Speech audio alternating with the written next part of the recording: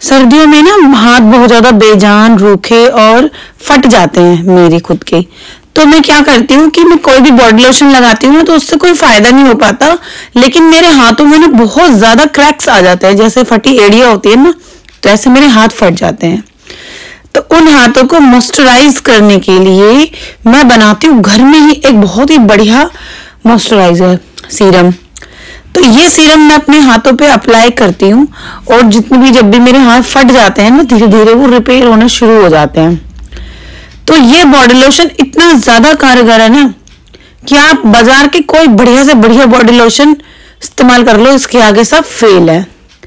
तो चलिए ये बॉडी लोशन बनाते हैं घर के ही सामान से। तो इसके लिए चाहिए होगा हमें गुलाब जल एलोवेरा जेल और एक ग्रीस ग्लीसरीन 20 एम है ये। और विटामिन ई e का एक कैप्सूल और एक खाली स्प्रे बॉटल तो दोस्तों, ये चार से पाँच चीज़ें चाहिए और जिस चीज़ से भी आपको एलर्जी है, वो स्किप कर सकते हो। तो खाली बोतल को साफ़ करके आप उसे सुखा लीजिए, ठीक है? और सबसे पहले जितना हम बना रहे हैं, उतना हम सबसे पहले डायरेक्ट इसके अंदर ग्लीसरीन डालेंगे। दस बर्तन गंदे नहीं करेंगे तो डायरेक्ट ही हम काम करेंगे अपना, ठीक है? तो ये ग्लिसरीन ना ट्वेंटी एम है। तो मैंने पूरी की पूरी ग्लिसरीन इसके अंदर डाल दी।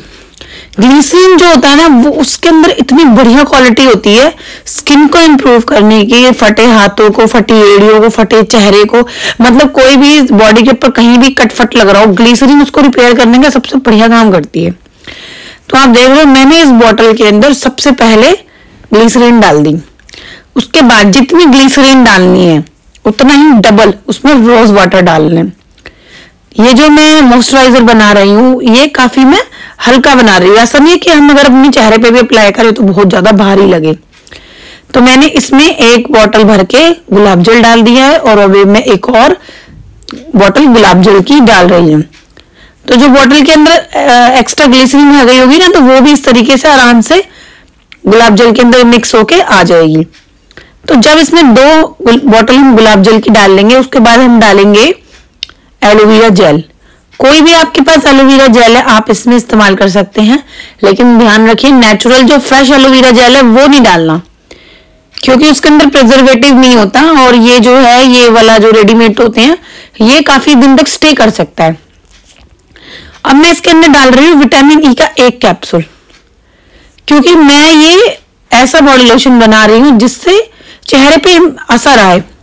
जब हम कोई चीज़ को ज़्यादा डाल देते हैं ना तो उसका नुकसान होना शुरू हो जाता है। तो इसके अंदर मैं एक ही विटामिन ई का कैप्सूल डालूँगी।